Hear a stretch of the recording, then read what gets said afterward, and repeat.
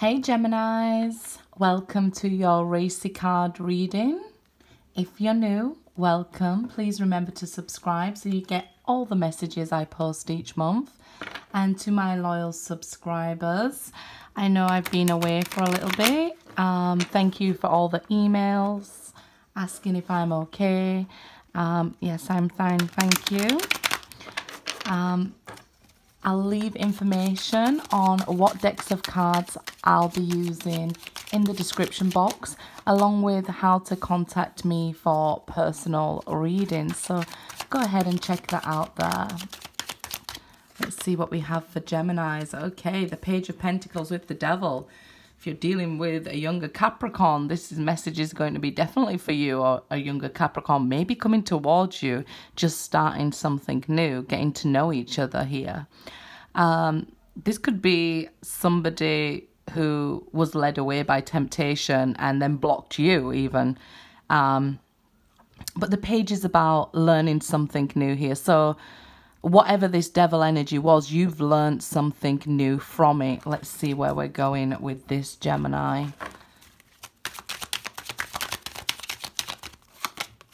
Two of Wands. you seem to be at a crossroads now. So if somebody blocked you, um, I feel like they're going to reach out to you and then you have a decision to make. Somebody's going to be flirting, trying to convince you here. Look how he's trying to pour the drinks down her and flirting with her. So somebody is tempted by you, desires you, longing for you. So somebody will be, pages are about messages. So somebody will be, you know, sending a message here, maybe very short, maybe very brief.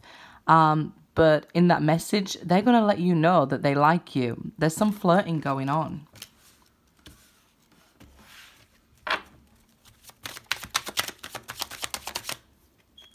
Four of Cups. So you may be rejecting them.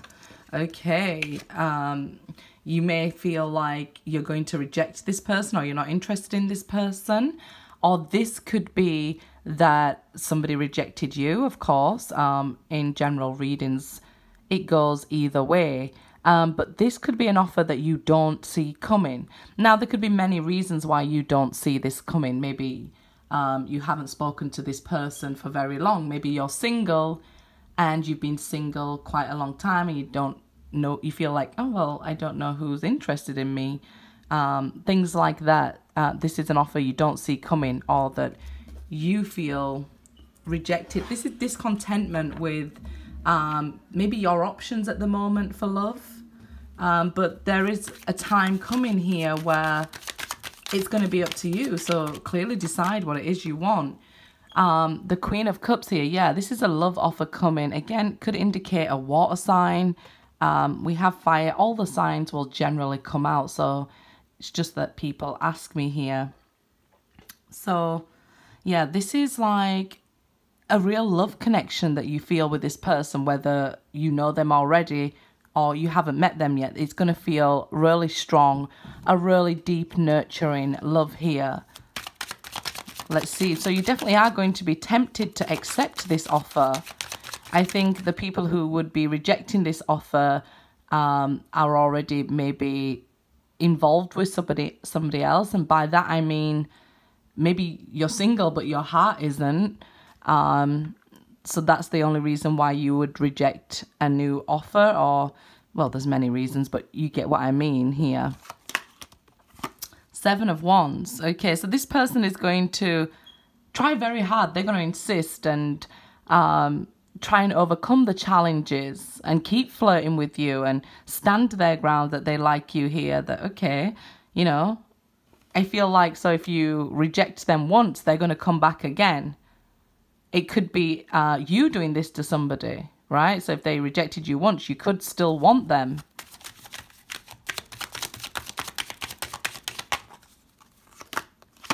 Ah, the death card here. So there is a transformation that's going to happen in your relationship status, if you like.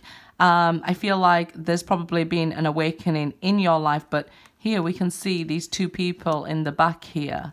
Um, it may have been that this ending was brought around or you stopped talking to this person um, because of a desire that they had, temptation that they had, and they went with somebody else here, which brought this relationship to an end. And you blocked them or they blocked you, and this is why you don't see this coming. You, you might feel like, well, they haven't got the audacity to reach out to me when they've done this to me, or I did it to them, maybe even, right?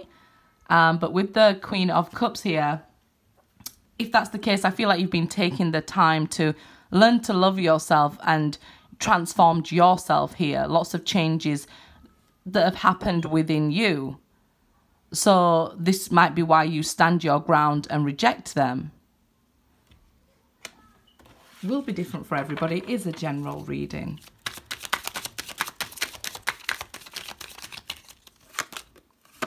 The Justice card here. So really this person would need to step up their game, step up what they're offering. They need to be more fair to you, especially if you've known them before. Um, it might be that they treat you unfairly and you now need them to do better, if you like. Um, if this is a new person coming in, I feel like this person is on the same vibration as you. So be aware and be accountable for your vibration, right? If you're feeling a little bit down, or maybe you're not healed yet, then I would suggest that maybe the person you're calling towards you might not be healed either from situations and has traumas themselves. We all are human after all, right? Um, so I definitely feel like you're calling somebody in on the same vibration as you. So yeah, just make sure you're honest with each other, be very clear and fair with each other, right? Because we reap what we sow. If we're going to mistreat people and hurt people because we're hurting or somebody else hurt us, it's eventually going to come back around. Eight of Swords here. So yeah, I feel like, look, this devil isn't too far away from your mind. Okay, we see the devil card up here. And don't get stuck though, because the Eight of Swords, you can sort of feel stuck or attached. The Devil card is actually a strong connection between soulmates, a marriage card as well. It's two people usually chained together, but one has been led away by temptation.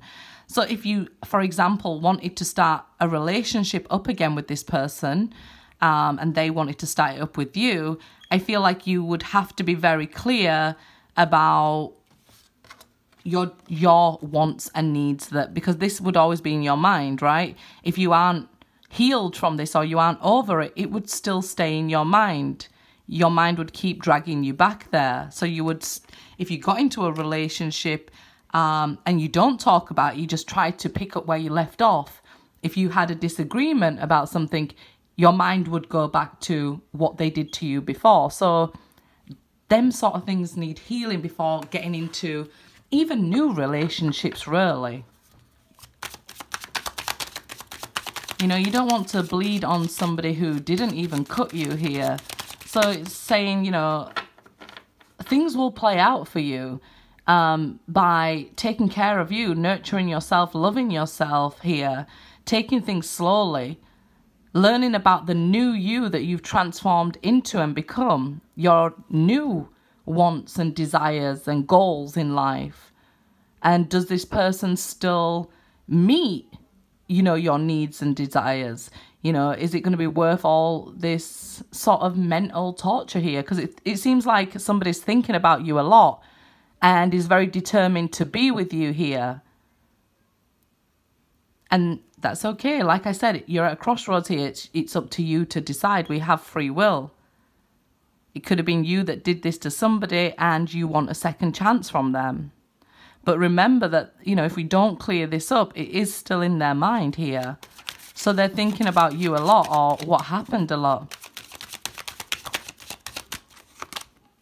King of Swords. So, yeah, fairness, clarity. You know, this is what you're needing now. This is what you need to, to talk about things, to clear the air, clear these eight swords out your mind, your questions. So, you know, something might have happened and you have questions for this person. Or if you're meeting somebody new, you know, question them, um, get to know them. I guess question them sounds wrong, right? But get to know them, get to know their wants and goals and desires, their future goals here, what they plan to do. So, you know, people who are on the same path have got more chance of, you know, staying together, going in the right direction together. If you get into a relationship, fall in love, and then realize you're going in opposite directions, um, it's very difficult, isn't it? so somebody is coming in quickly towards you here.